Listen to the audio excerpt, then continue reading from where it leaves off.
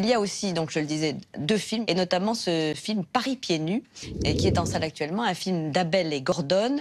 Vous êtes dans ce film aux côtés, bien sûr, de la grande Emmanuelle Riva, qui nous a quittés au mois de janvier dernier. Euh, Alexandra Roux a rencontré les réalisateurs. On va regarder avec elle et on en parle ensemble.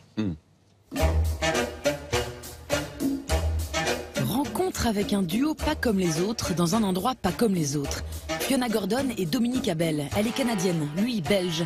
Ils sont indissociables depuis plus de 20 ans. Réunis pour l'amour du burlesque et de la poésie, ils nous ont donné rendez-vous sur l'île aux cygnes, décor naturel de leur nouveau film Paris pieds nus, dans lequel ils ont dirigé la regrettée Emmanuelle Riva. Ok.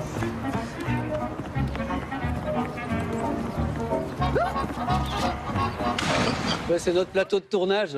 On a, on a passé des, des- des heures et des nuits ici. C'est comme une petite île, c'est un petit euh, havre de paix.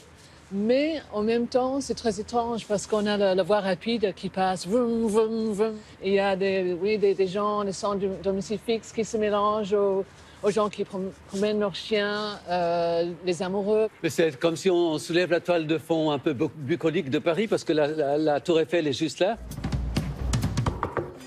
Bonsoir. Après l'iceberg, Rumba ou la fée, Abel et Gordon arpentent aujourd'hui la ville de Paris dans laquelle ils se sont rencontrés. On a fait une école ensemble de deux ans et on n'a jamais travaillé ensemble. C'est l'école Le Coq, une école de théâtre mais basée sur le mouvement. Et euh, on s'est trouvés un petit peu dans la rue à la fin de, nos études.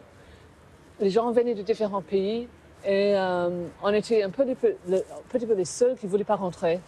Et donc on s'est regardé, on s'est dit, oh, bon, je sais pas, on va essayer.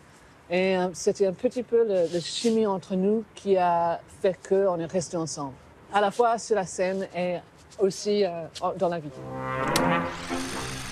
Côté référence, il nous cite en chœur Tati, Keaton, Chaplin ou encore Laurel et Hardy, des artistes du mouvement, du comique de situation.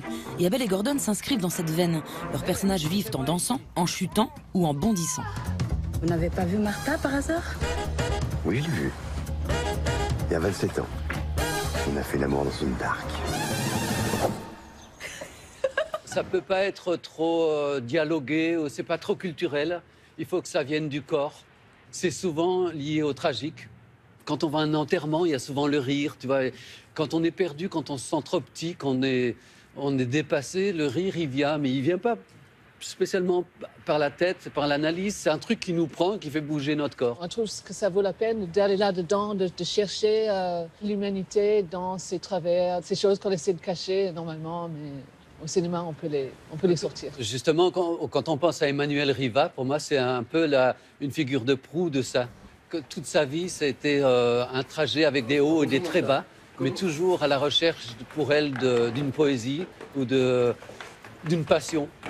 Et, euh, et, euh, on l'a côtoyé très proche de la fin, on ne le savait pas, voilà.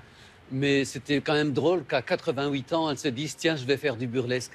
Et l'autre figure marquante de leur casting, c'est un acteur plus aguerri dans la comédie, un certain Pierre Richard.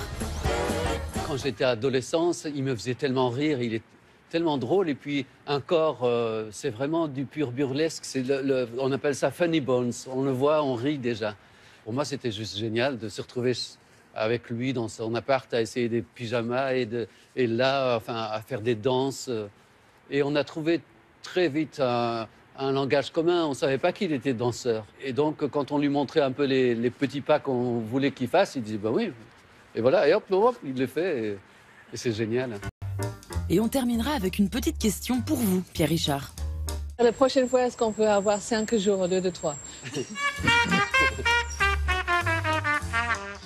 Cinq jours de tournage et non pas trois. Non, mais j'ai adoré tourner ces trois jours pour plein de... ou de ça, je sais plus. Parce que finalement, là, je me retrouve dans ma famille.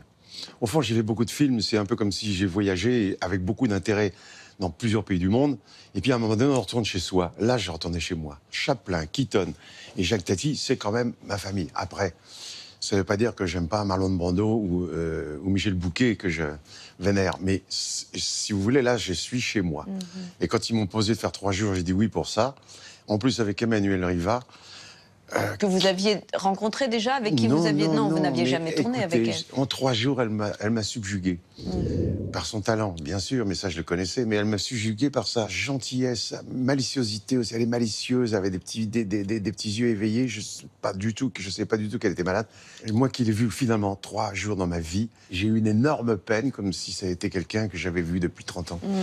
En trois jours, elle m'avait conquis. C'est rare d'ailleurs de l'avoir vue dans un rôle burlesque. C'est même D'ailleurs, en plus, elle était mais, euh, bouleversante de, de, de tendresse, bien sûr.